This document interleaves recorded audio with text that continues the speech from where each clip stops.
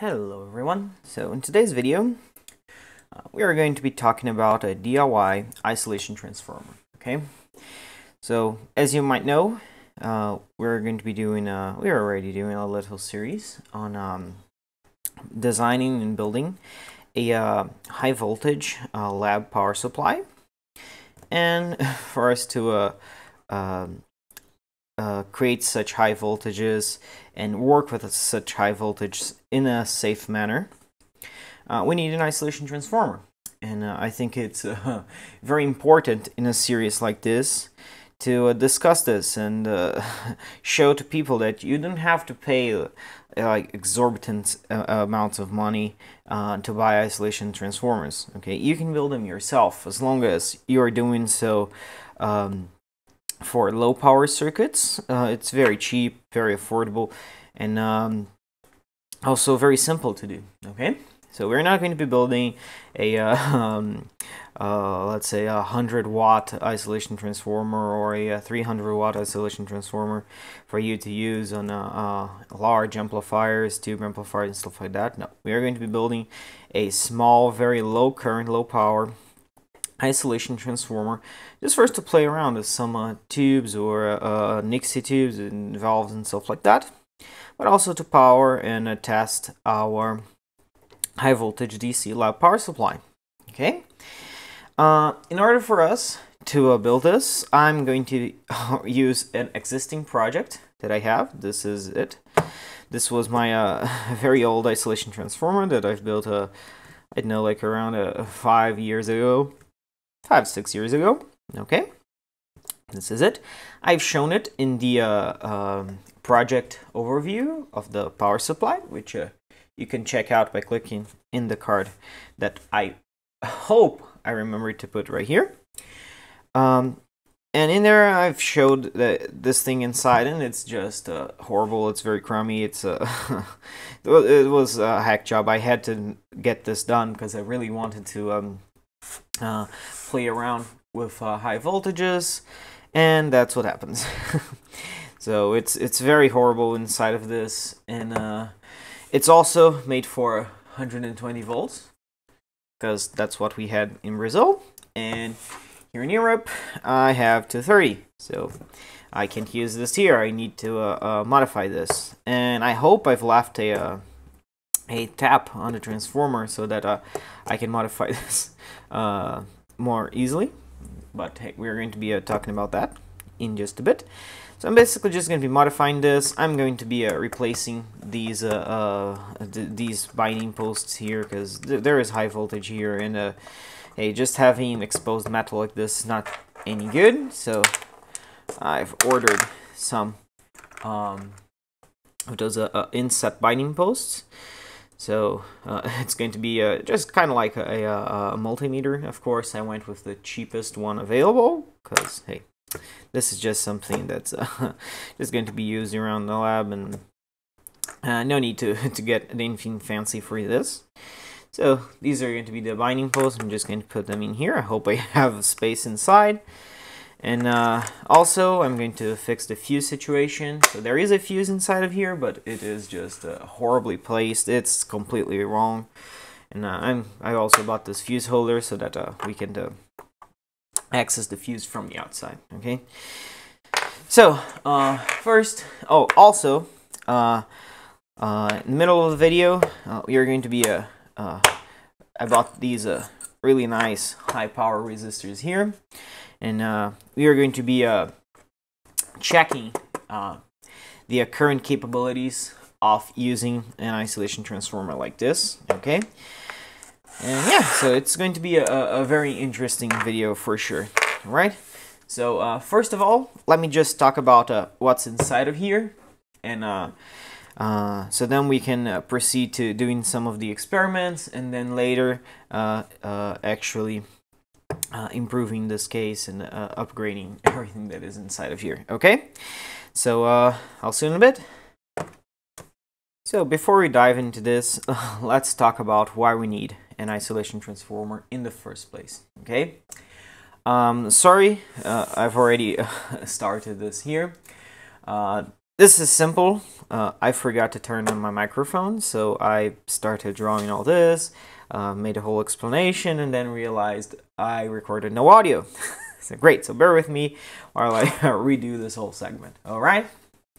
Now, uh, okay, so First things first, when you have your mains uh, uh, circuit in your house, you usually have three wires. You have your live, your neutral, and you have your mains earth. This mains earth is actually literally tied to the ground, okay, to the to actual earth, and uh, that's this conductor here, which is also called a PE for protective earth, and that's all about it. It there is just no current passing through the your earth uh, wire. Well, theoretically, there shouldn't be any current passing through your earth wire because it is purely for safety. Okay, because you are also uh, earth referenced, and the problem with that is that since this uh, uh these wires are also earth referenced, that means that you are able to complete a circuit. If you, for example, touch the neutral wire, theoretically nothing should happen if your uh, house wiring is well balanced. There should be no voltage here at your neutral wire. But if you touch your live wire, in case of Europe, you get a 230 volt shock, which is quite a lot. And it's going to hurt. Uh, that that happens just because this, uh, uh, these two wires, they are referenced to Earth as well as you are, because then you're just completing a circuit between this wire and the Earth wire. Okay? So, uh, this is done, uh, this is not done, this connection between uh, neutral and Earth is not done in your house, it's done at the, uh, at your, at your post outside your house okay so you can't just uh, uh, disconnect some sort of jumper in your house and have your house floating. That doesn't work. And uh, this is done for safety reasons. Since uh, let's say you have uh, an exposed bit of metal for example your computer case okay? It's a an exposed bit of piece of metal and that piece of metal should be earthed the reason for that is, let's say some fault, something bad occurs inside of your computer, and the live connection comes into contact with your uh, uh, your chassis. What will happen is if that's not Earth, then that uh, all, all that exposed metal is going to be referenced to your live wire. So if you touch it, you're going to get a nasty shock as if you were if you touched any sort of live conductor in your house. So that should be Earth because as soon as that uh, uh, um, live wire touches that uh, metal surface, it's going to trip your circuit breaker because there will be a direct connection between live and earth. Okay. Also, in modern homes and here in Europe, uh, you have a, a, uh, special type of uh, um, uh, circuit breaker, GFI. There are a whole bunch of names for it, but it's basically just going to be a, a measuring leakage current between the, your live and your earth wire to uh, detect a shock. Let's say uh, you accidentally uh, touch one a live wire, it's going to trip, even though it isn't a short. It's going to trip because it's going to detect that current is not flowing from live to neutral, so some current must be leaking to your earth. Okay, so earth is always for safety. Now, uh, since we want isolation, we just want isolation because, hey, let's say uh, we used a, uh, a, buck converter, a DC-DC buck converter with just an inductor, uh, and we wanted 12 volts. And we just connected, just put a bridge rectifier here on the live and neutral, got a, a, very high voltage here, and just had a buck converter to convert this to, to let's say, uh, it's going to be around like uh, 320 volts DC into 12 volts. Okay, then you get 12 volts, but the problem is those 12 volts are still referenced to Earth. So in that case, it's a very small uh, voltage, so you're not going to get any shocks. But if you, let's say, have a 50 volts, now there is a shock hazard there, because that circuit is referenced to Earth. And we don't want that. we almost never want that sort of stuff, so you need isolation. So what happens is, we put transformers Uh, transformers can be uh, for linear supplies for 60 hertz or 50 hertz, which make them very big, or they can be for switch mode supplies, as you see absolutely everywhere. And those can be smaller because of the uh, higher switching currents. Oh, sorry, not switching currents, switching uh, frequency. So this is how a transformer looks. Uh, you have your primary side. Let me just uh, write this down. So you have your primary and you have your secondary. Now, uh, you connect your in your primary usually uh, your live and neutral like this. So you have a 230 volts here at this side, and let's say uh, uh, we want to have a 12 volts here, so we get a 12 volts here on the output. You purchase the uh, to 230 volt to uh, 12 volt transformer, and uh, this is fine because uh, as you can see here, just by the symbol of this transformer, we have a uh, earth reference circuit right here because uh, we have that uh, earth connection. And on this other side, it is completely floating. There is no reference to earth on this side. It's basically just two inductors very closely coupled together. Of course, in the real world, uh, this is not how uh, things are. You always have uh, some parasitic capacitance and resistance everywhere. But uh, that's out of the scope of this video. But uh, just keep that in mind. And in some cases, you actually want to have some capacitance between the primary and the secondary. You'll see this in uh, almost every um, double insulated device. Uh, for example, one that's very common are your uh, typical um, power supplies, 5 volt power supplies, USB chargers for mobile phones. You usually have a capacitor here between your uh, neutral. Of course, uh, you don't know which one's going to be uh, live or neutral when you plug it into the um, to the wall, but all you want is a, uh, an earth reference in that case. So basically, you have a capacitor here between your primary and your secondary of your um, uh, transformer.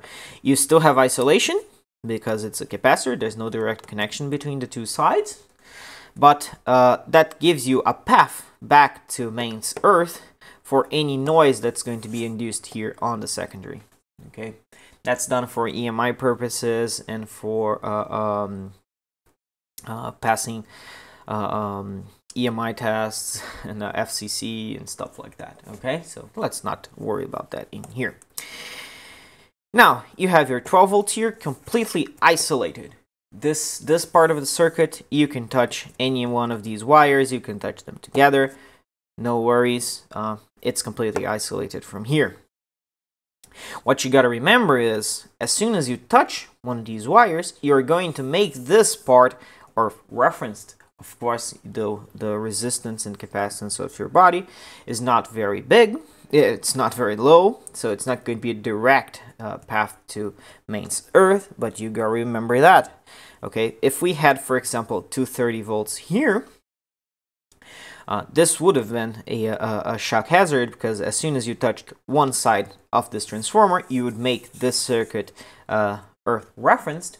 And when you touch the other side, then hey, you're going to get a very serious shock there as, as if you had touched uh, this these two conductors here. Same thing, okay? So you got to keep that in mind.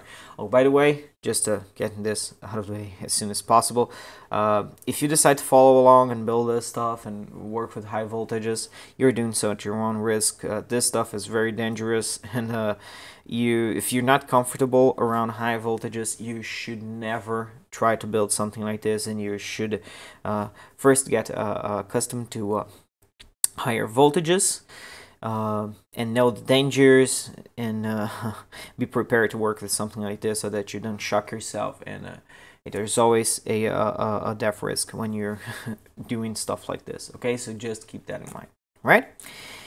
Now uh, so this is completely isolated but we still have uh, to be careful because we can uh, reference this as soon as you touch it there you have a, a, a reference and when you touch on the other side, then you got a, a closed circuit and current will start to flow through your body. Okay. if you want to know more about uh, safety and stuff like that, hey, there are countless videos on YouTube. There are a whole bunch of articles that you can read about stuff like this. Okay.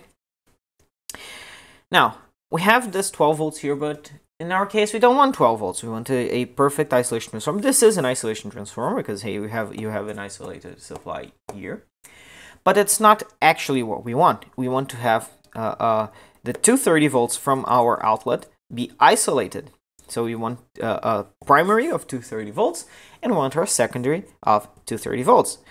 Those transformers exist, of course they exist, but they are extremely expensive, and that's why we're going to be building one ourselves to make it cheaper and more accessible. Because hey, when I was in Brazil, you just couldn't get a uh, in that case a, a, a, 120 to 120 volt transformer they were just unobtainium and if you wanted to get one you had to make them custom and it was extremely expensive okay so we want to do this ourselves to make it possible for everyone to have access to a uh, extremely uh, important piece of safety gear in the lab.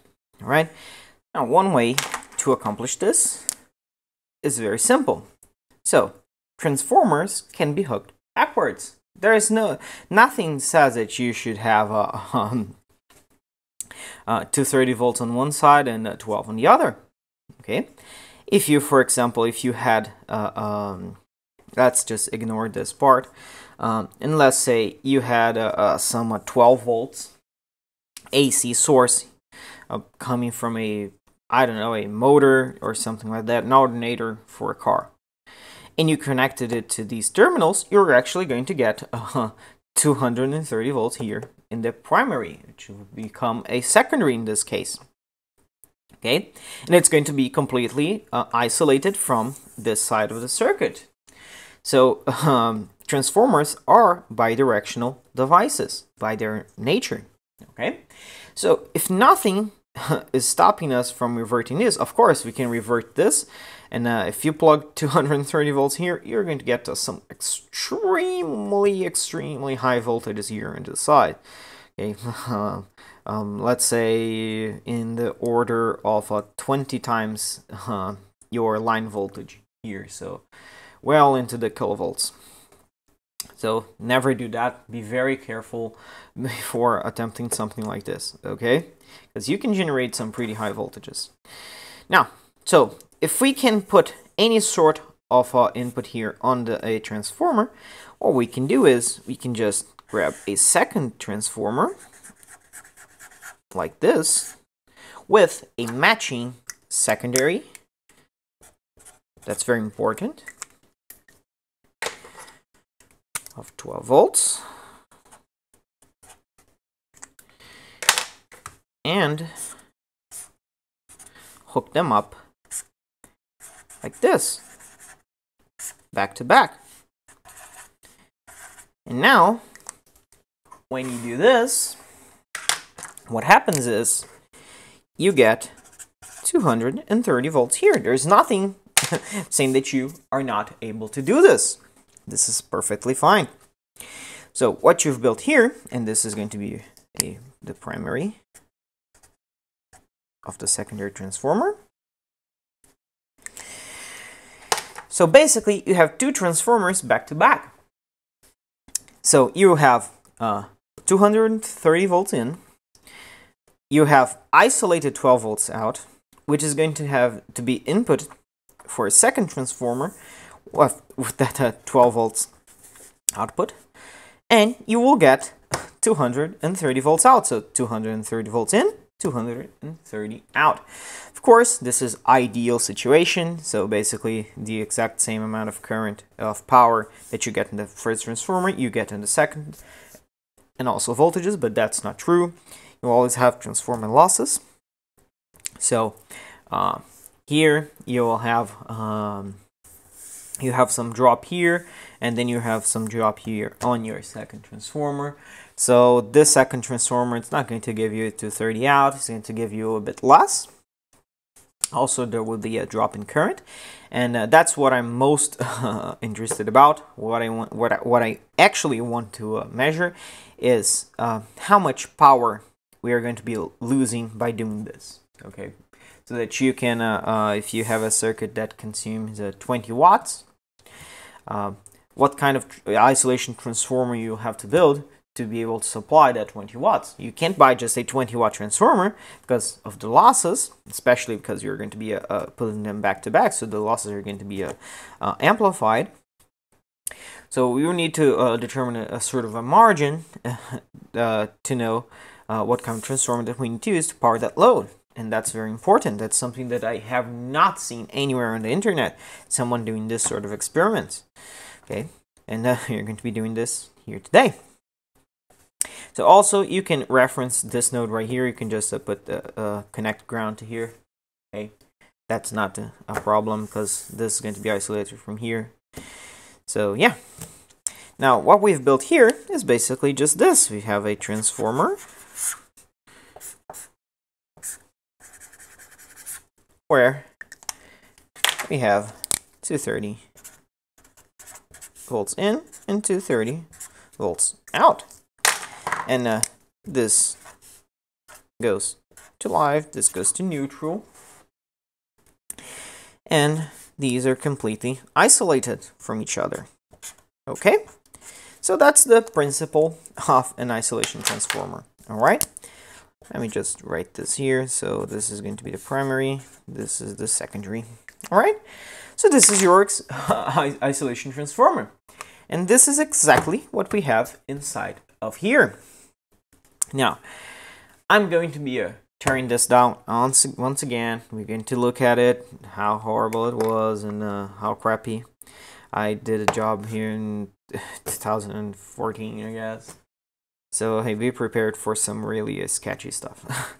but, uh, we'll be seeing exactly this. Uh, in this case of this, I remember that uh, it was a center tap transformer, so there will be a, a center tap being connected here.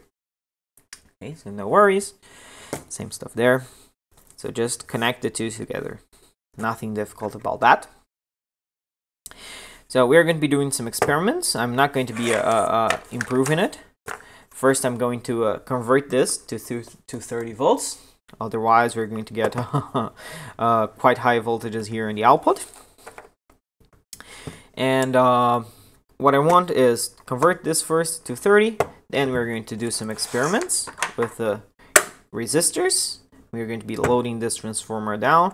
We're both going to be loading uh, this part of the transformer with them separate so that we know exactly uh, uh, how much current this transformer is able to uh, give us. And then we're going to connect them in series back to back like this. And then we're going to be starting to load uh, this other side of the transformer to see how much of a loss we get there. Alright?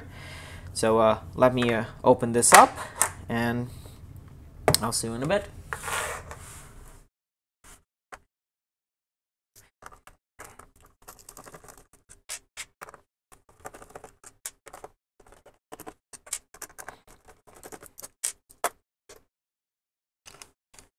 So as you can see, it's quite a mess inside of here. Uh, as I've said in the previous video, I have no clue what I did here why I used hot glue, why there are no uh, uh, no uh, uh, fasteners on this thing. It's a, a, literal mess, okay? So let me just uh, try to remove these things because you see this crummy old hot glue, it just disintegrated over time and it's not holding anything in place. Oh, it is actually holding this thing in place. You also had this uh, uh, fuse in the wrong part of the circuit because it is here in the secondary and it should be in the primary but uh, we are going to be uh, getting rid of this fuse. So uh, that's not a problem. This is really this is holding up quite well. It's actually oh, is free hot glue thing okay there it is great so hot glue is out just have to uh, uh tidy this up a bit. So, this right here is all the crap hot glue that I've used for no reason whatsoever. I don't know what I was thinking back then, but hey, again, I told you I had to uh, make this thing really quick. Now, as you can clearly see here, the two secondaries, let me just, uh, oh wait, actually cross them. Nice. So uh, the two secondaries of this transformer are uh, wired back to back. Uh, this is a, a, a, kind of important just to make sure since we have a center tap transformer, I've connected the two center taps and uh, I've crossed the uh, one of the wires. So uh, we have a center tap here and the wires go crossing like this. Okay, that's just to ensure the uh, phase of the wave is uh, uh, the same between the two transformers, the two secondaries. All right. Now, this fuse is right here between these two uh, secondaries. This will have to go.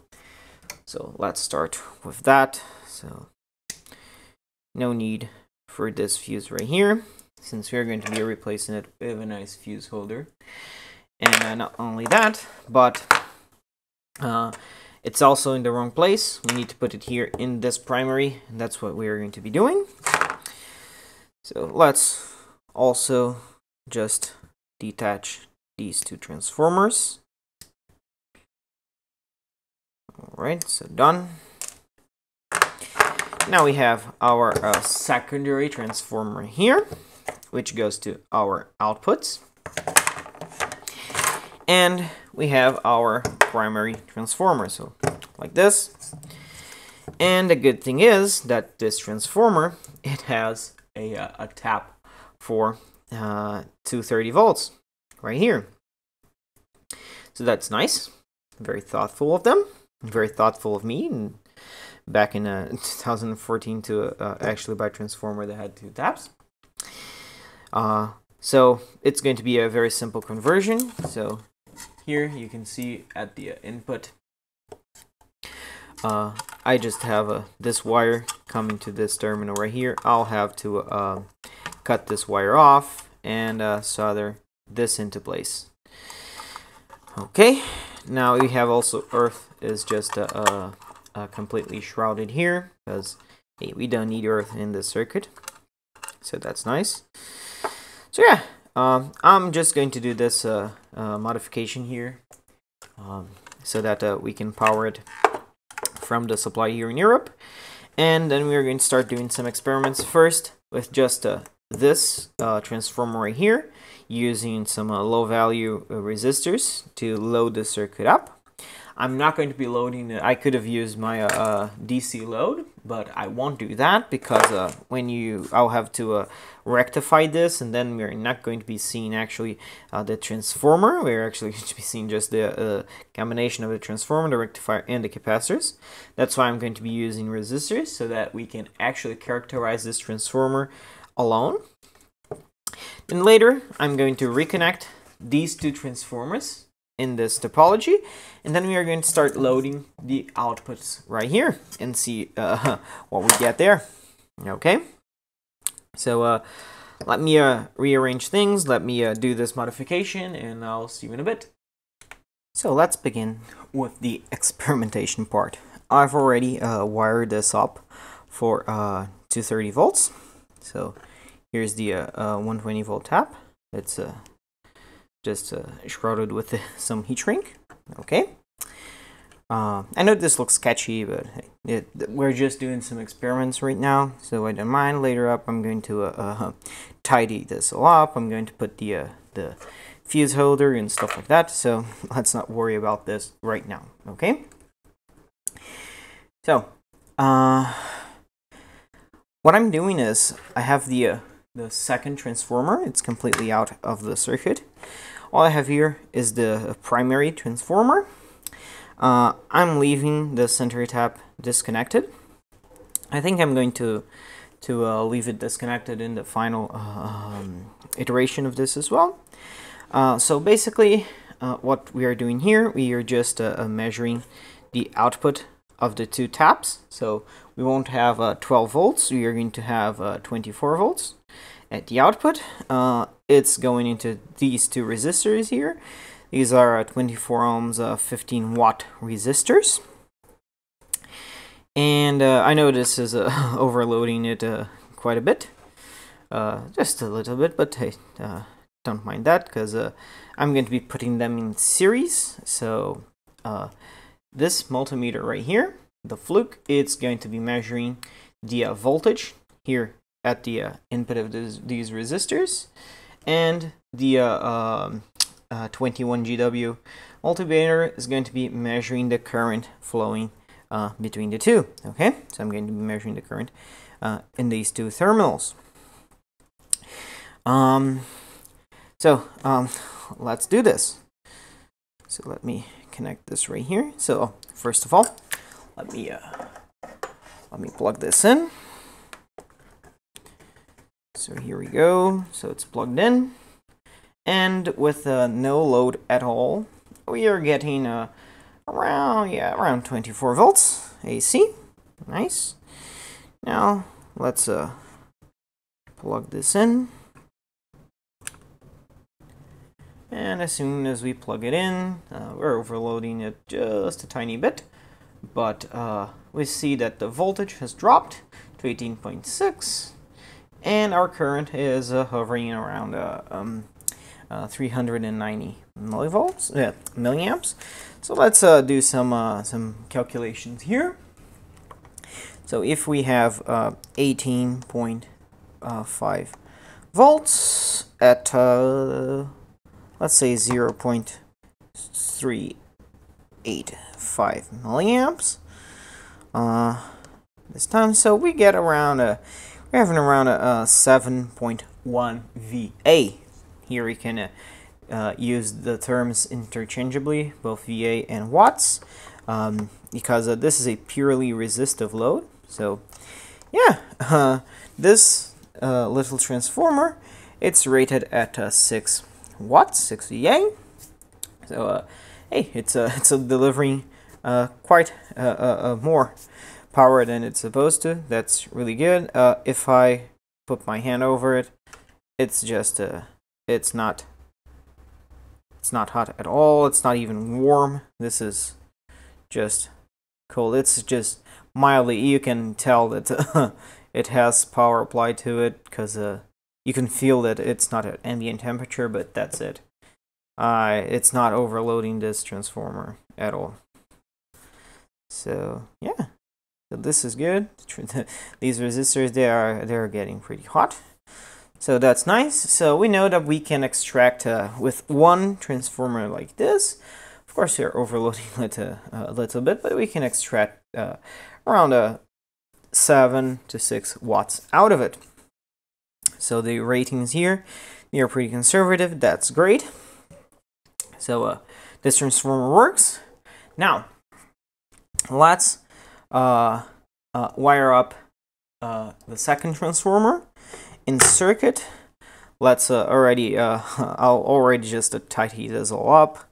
And in the next shot, I'll probably just have this already all buttoned up and ready to go and then we are going to be testing actually the uh, secondary output with the uh, 230 volts all right so uh, let me uh, rearrange stuff here let me uh, button all this thing up make it pretty and I'll see you in a bit right so I just finished upgrading this and uh, making all the modifications that I wanted so now the transformers are securely bolted into place so no more hot glue. I've added a fuse holder right here on the side. So that's all great. Uh, it's a bit tight in here. Hey, what you gonna do? It's a very tiny enclosure and the transformers are rather large. So I've uh, zip tied everything so it looks a lot neater. Not that a rat's nest that it was before. So as you can see here, I have uh, disconnected the uh, the center taps. So basically what we have here is a, a 24 volt secondaries connected in series like this. And here are the outputs and I have added the uh, nice uh, binding posts here that are a lot safer. So let me just uh, zoom in here. So there we go. So there it is. It's all very uh, nice tidy. So now it's just a matter of closing this thing up. There we go. Closes up very nicely. And hey, applying some uh, mains here and checking the output. Okay, so that's what I'm going to be doing. Let me just uh, uh, screw this in. It's already looking a lot better.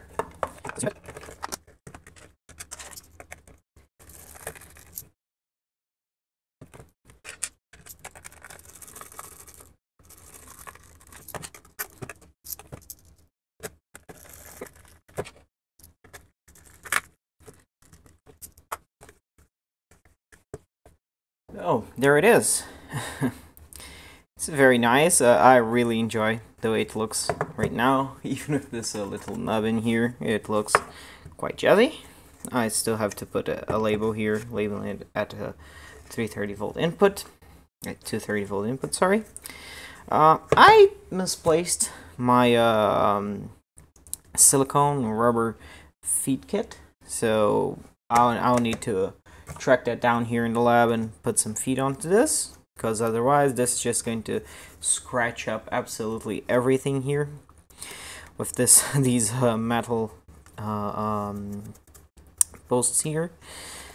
So yeah hey this looks really really nice. So there it is. There's the mains input fuse holder and hey that's the outputs. That looks great. So now let me uh, put a fuse in here, uh, put some power, and test this out.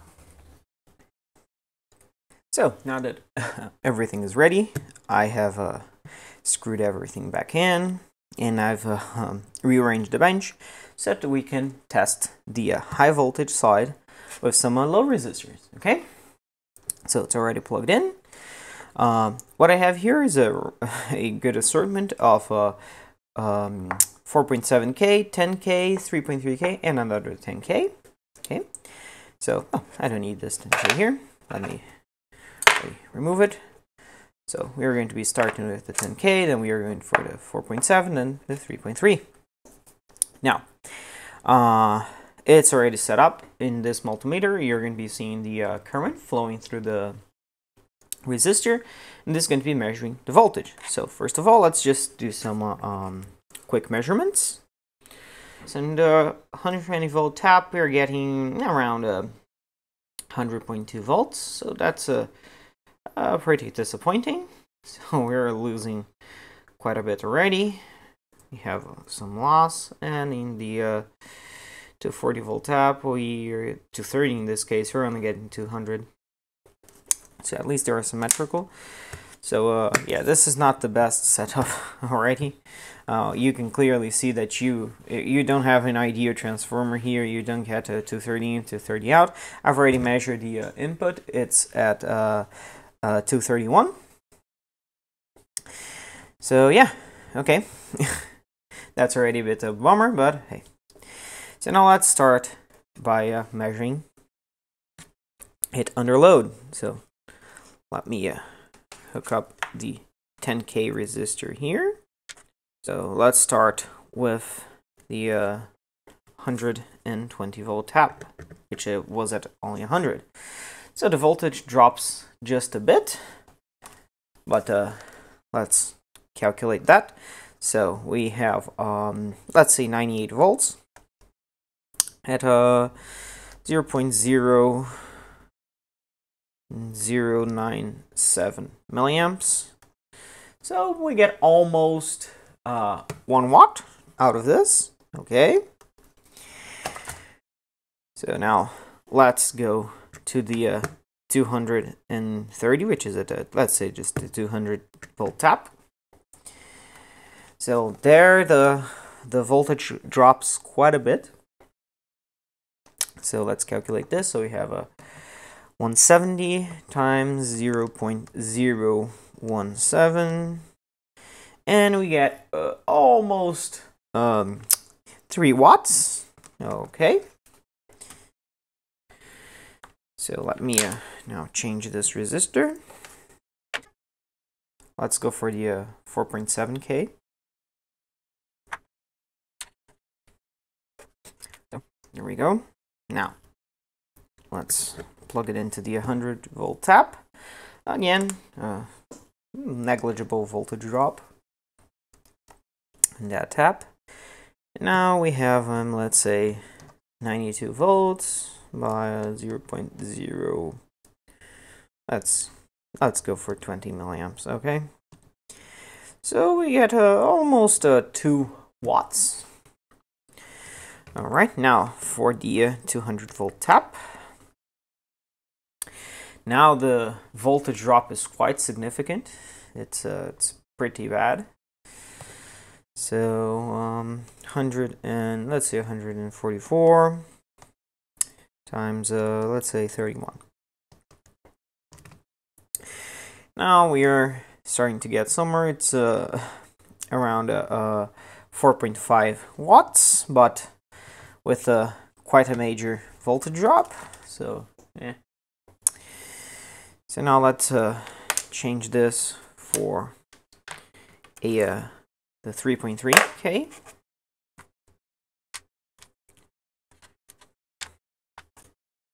So for a 100 volt tap with the 3.3. Now the uh, voltage drop there is uh, starting to get significant. So let's go for 88 volts times uh, 27 milliamps. So we get uh, 2.4 watts out of that. Now let's go for the uh, 200 volt tap. And now the voltage is, drop is just insane. It's horrible.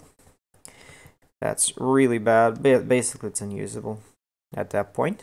Uh, unless you are doing something uh, where you are um, trying to simulate a 120 volt uh, main supply, but hey, that's really bad.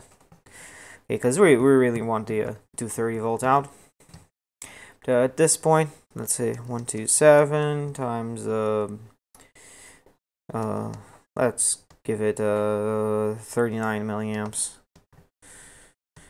Now that's uh, basically 5 watts and at that point you're basically at the limit of the transformer which is just a 6 watt tiny little thing. So uh, with transformers this small uh, let me just disconnect this. So yeah with transformers this small uh, hey you're going to get a, a quite a, a significant voltage drop right off the bat and as soon as you start putting any sort of a load onto it it just drops dramatically. But uh, that was already expect I didn't expect that much of a voltage drop. But uh, I just wanted to explain you this sort of stuff how you can build this yourself. Uh, so and I just wanted to uh, use something that I already had for this so that's the reason why I chose this. When I was using this, it was just for Nixie tubes and stuff like that, so I really didn't care much about the current or voltage drop because those usually operate at uh, 90 volts thereabouts so it wasn't really a concern but if you're going to be a powering uh, a power supply or something like that that requires uh, a higher load, hey, something like this, this small is not suitable.